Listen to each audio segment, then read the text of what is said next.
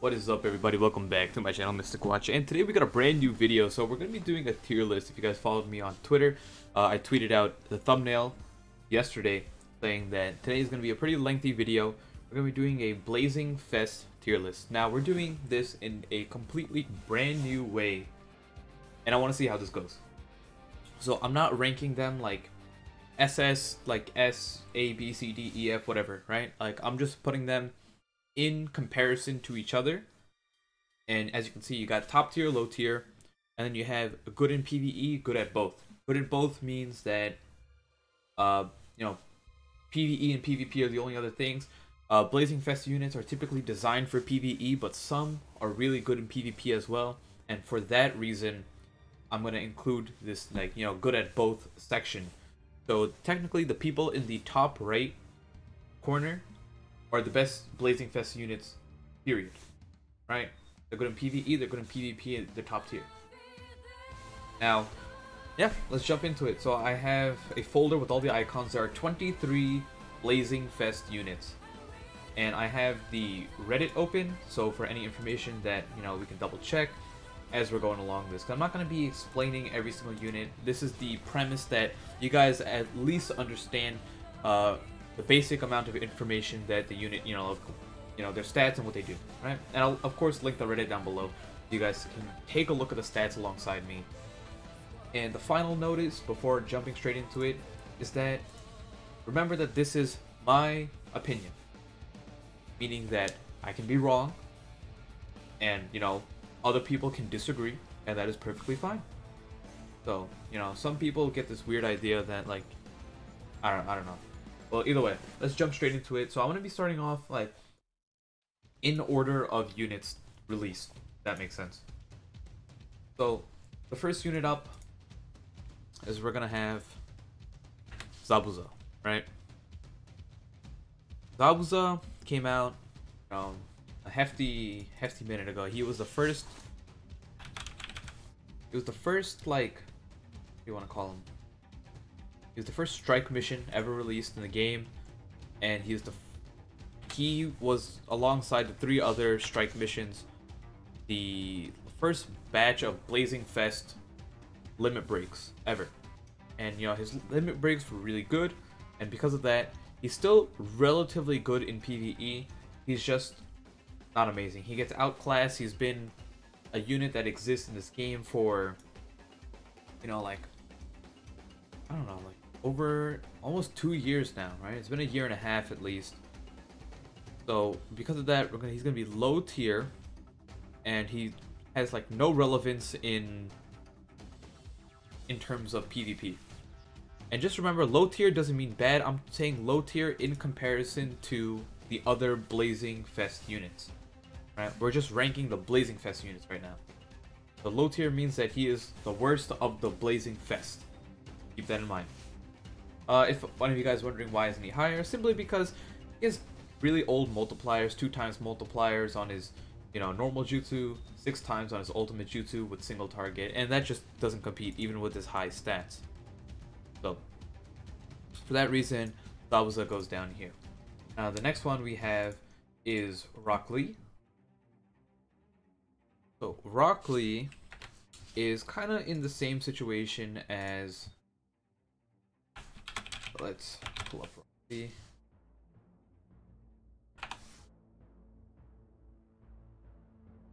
Oh, Rock isn't even on this thing. Okay, well, either way. So, maybe it's just Lee. Yeah, it's just under. There we go.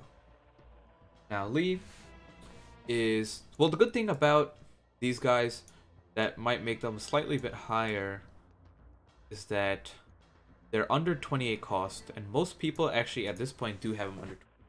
So I'll just bring them slightly up. Right now Lee, in this case, has very high attack stat, right? 2734. For that reason, he's pretty solid in PvE, right? Uh, his normal jutsu isn't much, but of course with his boost that brings him up to 150% turns, this guy can do a solid amount of damage, doing like like 30-40k single target and around that area if you have, um, I think closer to 50k if you have the you know, if you get a type effective unit. So for that reason, Lee is going to be just slightly above Zabuza. But in terms of, I'm just leaving it like this to show you that Zabuza still exists. But, you know, he's just as not good in PvP. So the next unit we have here is Shukaku Gaara. So Gaara, I'm gonna put him like right here with Lee. Only because Gaara is actually pretty solid for the amount of damage reduction he has. He's the first unit to like bring that tankiness feeling that really no other unit had at that time. See if I can pull his... Uh, Now Gaara's stats are very high for a mid-range unit. He has like 18, 1800 HP, 2258 attack, mid-range. Uh, his jutsus do a decent amount of damage. You know, he got four times multiplier. And the best thing about him is simply field skill, damage reduction, buddy skill, damage reduction and then all of his dupe abilities are all damage reduction, making him a really good unit to bring on those, you know, wisdom only runs. He just tanks a lot of damage. Now, the thing is, he doesn't drop under 28, but he's still, in my opinion, better than Lee and Gaara. So for that reason, I'm gonna leave him at the same same spot as Lee, just slightly above Zabuza. Now, the last, the last unit to be released that was in the strike set was Itachi. Now, Itachi is he's still to this day a pretty solid unit, right? So if we take out Itachi from here, we got X stats, long range, 1578 HP, 1908 attack. So he hits 2k attack with his uh, you know, with pills. On top of that, he goes to 2100 if you have that last dupe ability. Uh, same thing with uh, Gaara. He does not drop below 28, unfortunately. They have this weird 29 cost max dupes, which is really annoying. Uh, he has good AoE, generating chakra very easily. And then his ultimate jutsu is pretty good, right? Giving him perfect dodge for 3 turns while also doing a decent amount of damage for 5 chakra. Now, because of that reason, He's also really good at PvP. So we're gonna put him. He's not amazing, right? He's not like top tier PvP, but he's like somewhere, like somewhere here, where he's just like, I'd say, yeah, that's fine. And we can. The thing is, this I'm doing this because of flexibility, right? This is a a live tier list, meaning that as we go along, we can readjust people. So for that reason, Itachi is better than the fact that he's good at PvP and PvE makes him, you know, slightly above. Like it doesn't put him on the same level as these guys. For that reason, we'll toss Itachi up here. And you know what? For clarity's sake, we'll just separate these guys. Because you know, I explained that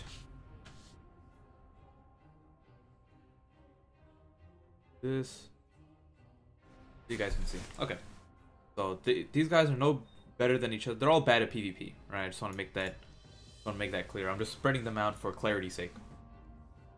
Now, we get into the actual Blazing Fest characters that were released as Blazing Fest units, right? These guys were just lumped in there. They had their own banners when they came out. So the first one, Minato. Minato is the first vast range unit, and for that reason, it makes him really good at PvE right? So above Itachi, he drops under 28 because he has six dupe abilities. Has very high stats, and if we ever get a new batch of limit breaks for Blazing Fest, Minato is 100% gonna be the first one to get it.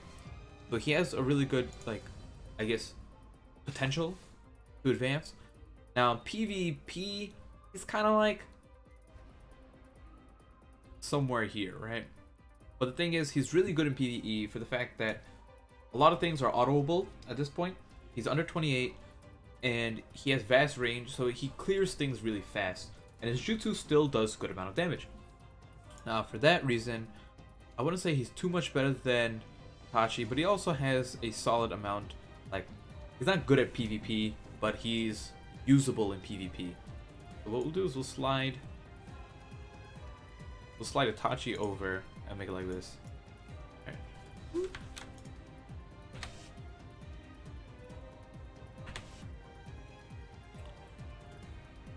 Just want to show that Zabuza is lower, actually for that reason. Okay. Now, the next unit is the infamous unit.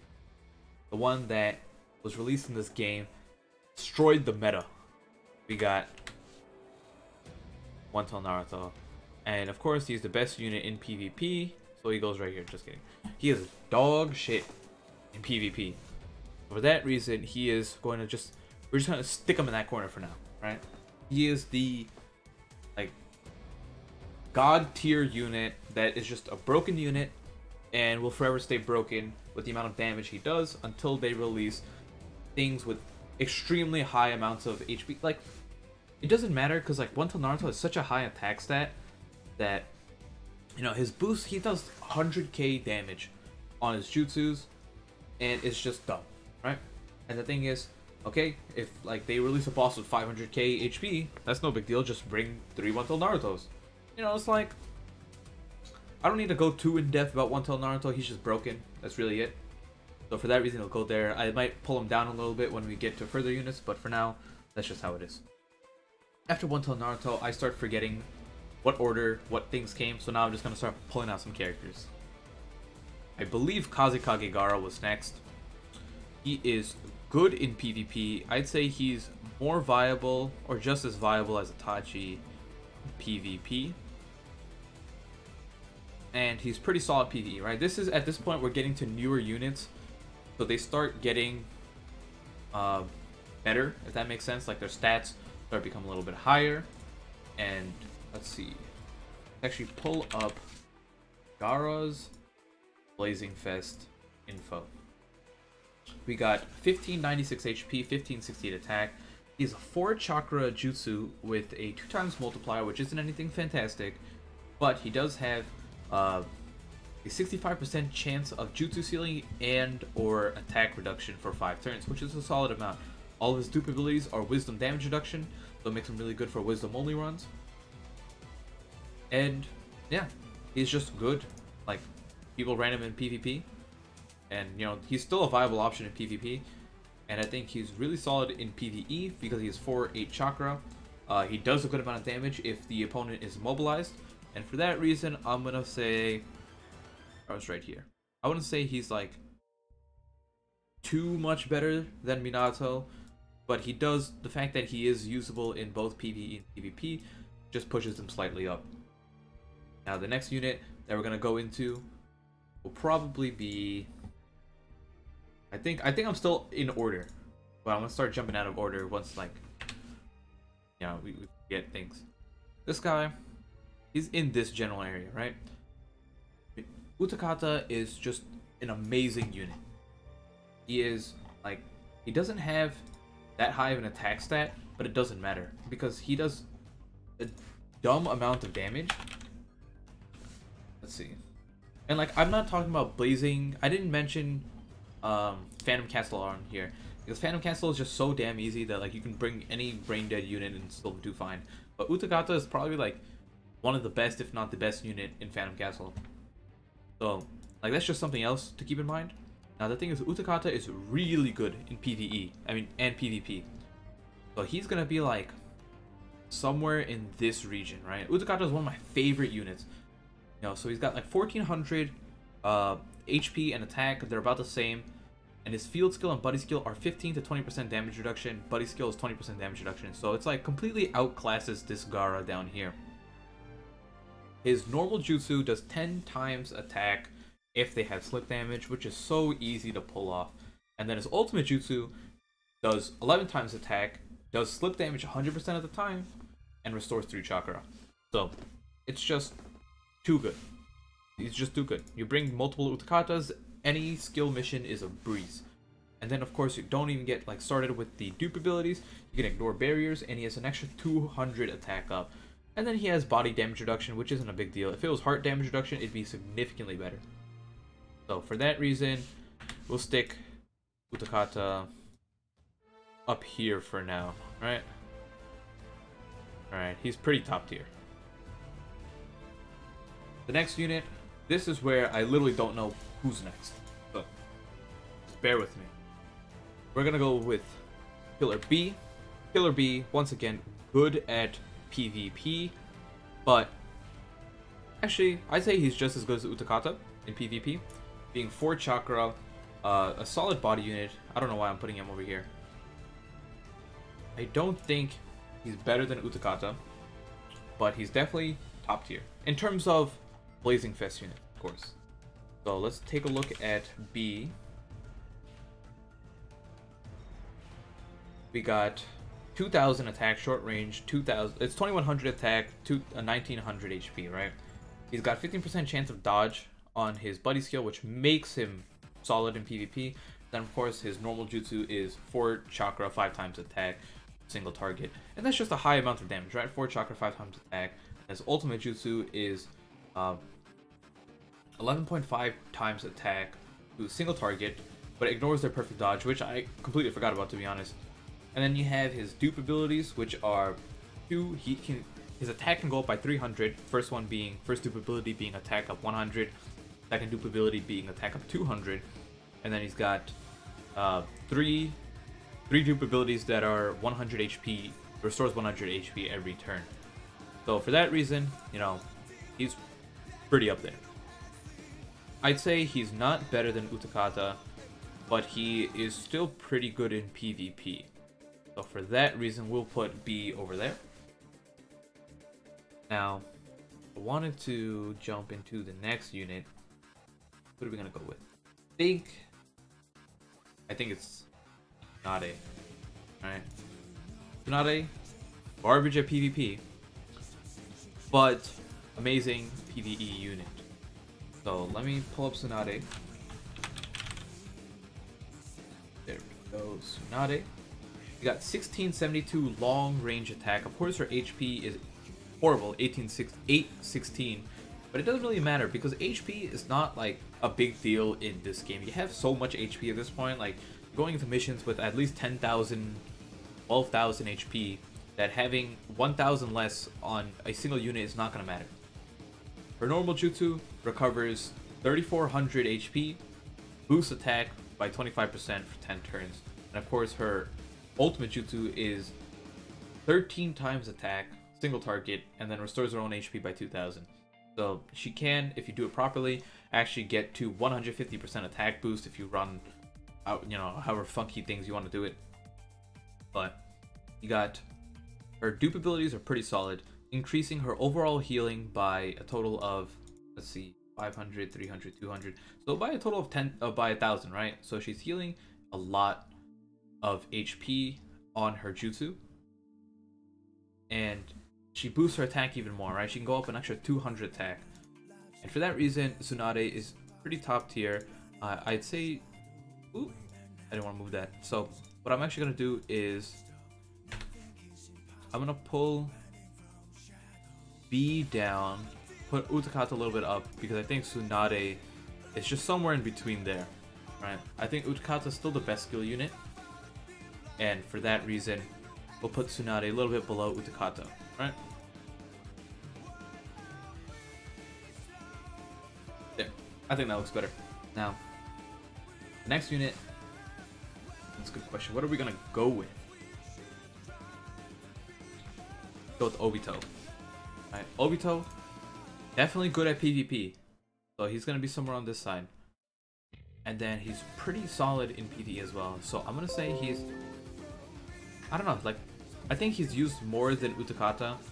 So I'll put him... Let's see, let's pull up Obito real quickly. Obito, Obito... Obito we got fast range unit, right? 1500 attack. Uh, he has, of course, field skill, damage reduction, and buddy skill is chance of dodge. The thing is, I don't know, like, he needs dupe abilities, right? Why am I doing this? He needs dupe abilities, 100%. Like, you need one minimum, and of course, ideally you'd want all of his dupe abilities. But, let's just say that, you know, if you have all his dupe abilities, because there are a billion, you know, ability stones going around, so we'll just take this case as him at max dupes. So, I'd say he's an amazing unit for PvE, he does a billion damage, and on top of that, he's just good in PvP. So, I'd say for a wisdom unit, he's like I don't. I I think Utakata is just amazing, right? So we'll put him like.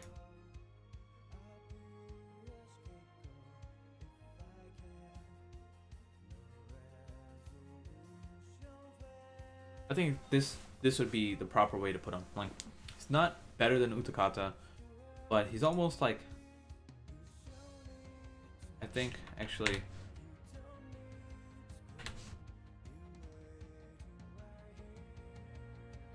They're like so similar in how good they are in PvP, but I think Obito might be slightly better in PvP than Utakata. Because he got a little buff, right, with speed. For that reason, I'll put him like this. Let's see now. Next unit. Let's go with Hashirama. Hashirama Senju, you know, God of Shinobi, but very reliant on his dupe abilities but for the same reason that I just said, I'm going to include dupe abilities in this assessment. You got long range 1806 HP, 1326 attack, uh, 4 chakra is 6 times attack. You got 60% chance of recovery sealing and or reducing their attack for 4 turns each. 8 chakra uh, attacks all enemies in range, 50% chance of immobilization for 2 turns and or seals their jutsu.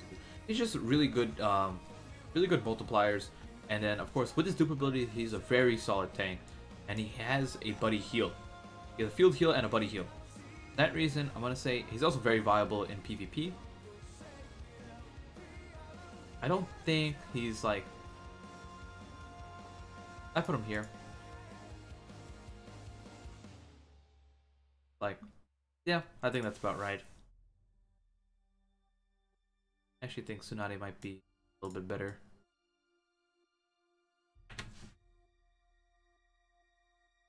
down. This should also just be all the way to the left. Nice dog shit PvP. Okay, now. Let's go into...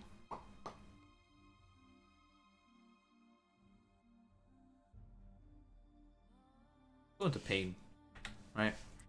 Pain was a pretty underwhelming unit. Like, he could have easily not been a Blazing Fest and no one would have cared. He's just dupe abilities. Dupe abilities are very underwhelming. Just reduces chance of being sealed and or immobilized. He doesn't do anything in PvP, and he just he heals on his normal jutsu for five chakra, but he just doesn't heal enough.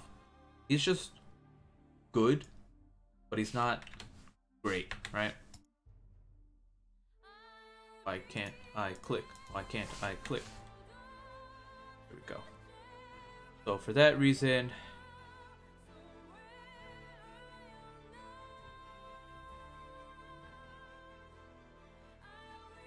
yeah, that's it. I wouldn't say he's um, anything amazing. I'll actually bring Gaara up. I think they're similar in power.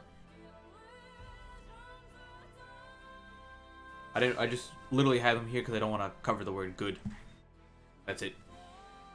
But otherwise, I'd bring him. I'd say he's Actually, it doesn't matter. Cover the word up if I want to.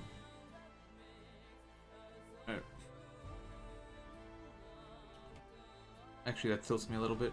Go like this. Yeah, I'm sorry. I'm sorry. Punish me. Okay. Now, we have just a few more units left. We have Jubito, who is amazing in both. Right? He is just somewhere here. I think he is amazing in PvP, and for that reason, that pulls him over Utakata. And he just nukes in PvE. So, I'm gonna put him right there. I think he's a simple one to assess, nothing too crazy. Let's go with Might Guy. another underwhelming unit. He has a lot of damage, but isn't viable in PvP. Uh, he just has good attack, and you know, for that reason, he has that like auto-able feature to him, where you can just kind of just like auto things. So, for clarity's sake, I'm just putting him like this, uh, so I don't like really cover up the other units. Now, I do want to, I think these units aren't like, there's not much discussion on them. So I do want to jump into the other units. Oh, how did I forget this guy? How did I forget this guy? Very viable in PvE, but also just amazing in PvE. Don't think...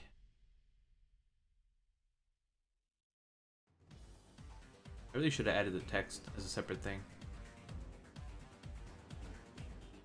Okay. So, put him like this. Maybe he might be more viable. Right.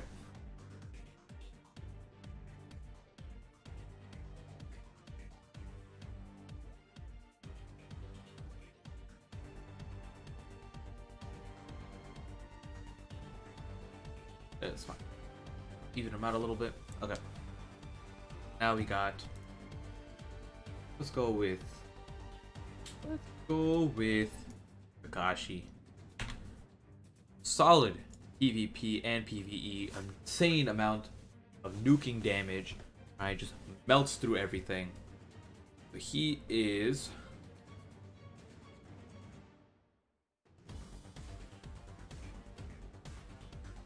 there. I'm gonna pull this Obito down a little bit.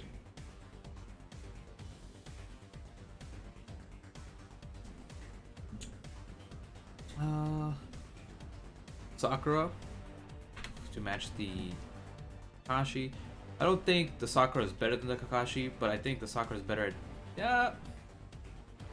I don't know. She has her six chakra thing. She's a threat. But for we'll just say she's just as good.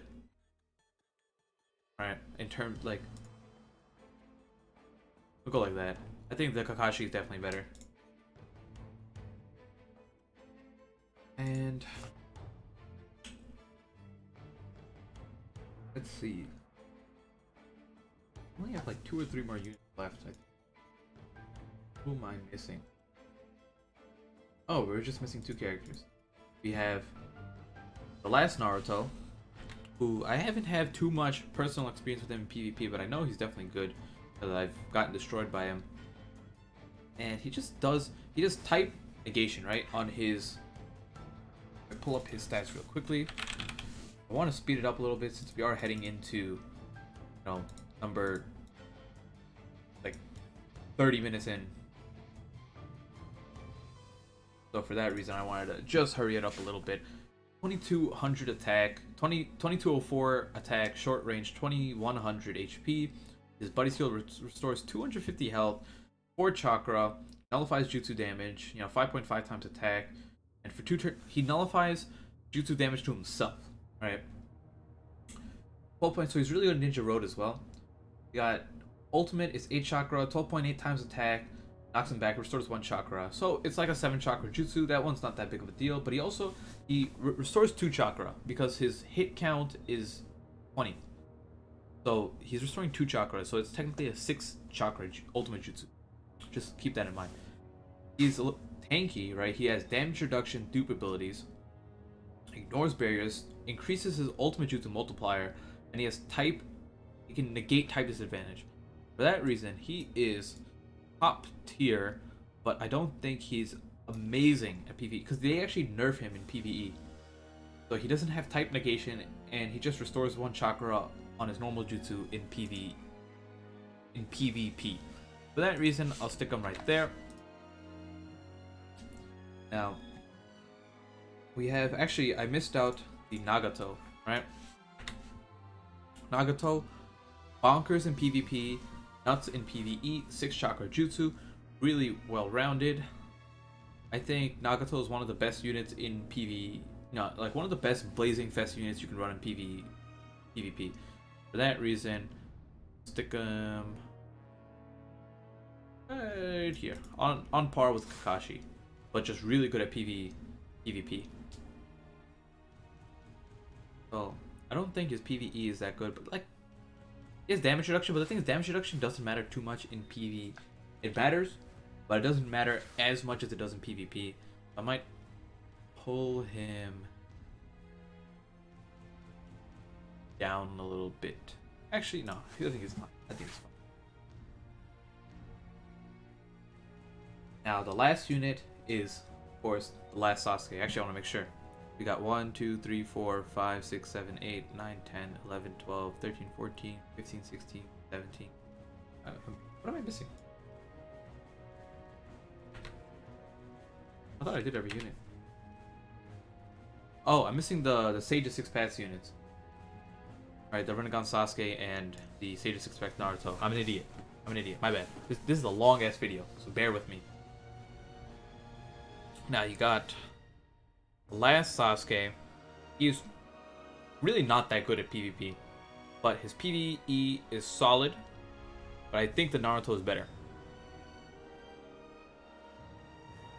I'm gonna put him right there. Now, Rinnegan Sasuke, I can do these guys really quickly.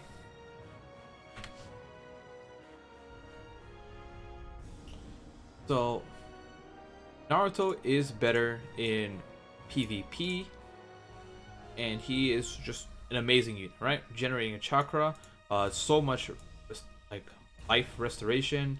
I think Sasuke is just as good, but not as good in PvP.